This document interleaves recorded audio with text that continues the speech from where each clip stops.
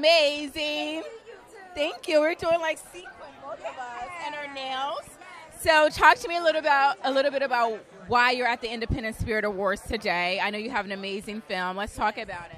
Yeah, so I'm at the Spirit Awards today. I am nominated for Best Supporting Female in Give Me Liberty. And um, I'm just here to celebrate with my cast and my crew and celebrate all the other fellow indie filmmakers and actors and everyone else. Those of us who haven't had a chance to see Give Me Liberty, what is the film about? Um, so it's about a medical transport van driver in Milwaukee who essentially has like the craziest day of his life, and I play one of the passengers who ends up becoming a really good friend of his. Yes, yes, yes. You got your start on YouTube. Yes, yes.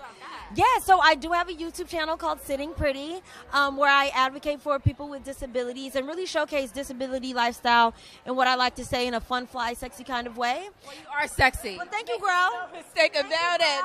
Thank you. Um, so yeah, so it started off there, and then it gradually grew into an audience on on YouTube, uh, on YouTube, on Instagram. Then I started modeling for Tommy Hilfiger Adaptive, Zappos Adaptive, um, do public speaking gigs all over the place. So um, it's been an incredible journey.